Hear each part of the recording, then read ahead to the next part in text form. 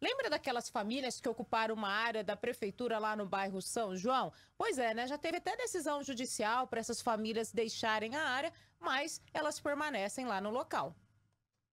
Decisão da Justiça determinou a saída das famílias que ocuparam uma área da prefeitura no bairro São João, em Três Lagoas. Mas, mesmo com a decisão, as famílias permanecem no local. Segundo Yasmin da Silva, esta é a alternativa encontrada, já que as famílias não conseguem pagar aluguel. Começou a construir de pallet, tem bastante barraco também lá para baixo que está construindo com pallet e a gente pretende ficar.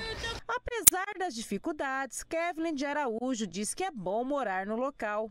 É, a gente tem que continuar, né? Porque não tem dinheiro para pagar aluguel. E aqui é a única opção que tá tendo, né? Tem criança pequena, né?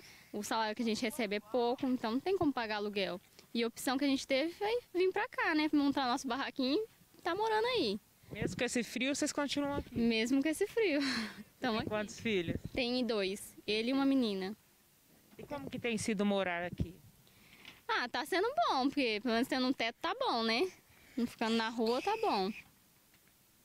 E, é isso. e o que, que vocês esperam agora? Ah, a gente espera que eles doam pra gente, né? Construir pelo menos uma casinha pra gente, né? Pra gente não ficar na rua ou dar uma solução pra gente, né? Porque não tem como pagar aluguel. O aluguel tá um absurdo. Ainda mais com criança, né? Inclusive já tinha até vencido o prazo, a prefeitura estendeu para vocês permanecer mais um tempo. Sim, uhum. Foi. A gente conseguiu mais uns prazos aí para ficar. E agora é esperar no próximo mês. É, vamos esperar, né, o que, que vão decidir, né? Vera Lúcia, que chegou a morar dentro do carro com o marido, agora fez do barraco a sua casinha. Estou morando aqui, graças a Deus. E estamos aí na luta para ver se consegue. Quem ergueu a casinha aqui? Eu e meu marido. O que, você está achando de morar aqui? É, fazer o quê, né? A gente está lutando para a gente poder ter algum cantinho para a gente não ter que pagar aluguel, né? Porque tá difícil as coisas. Mas está melhor do que morar no carro? Com certeza.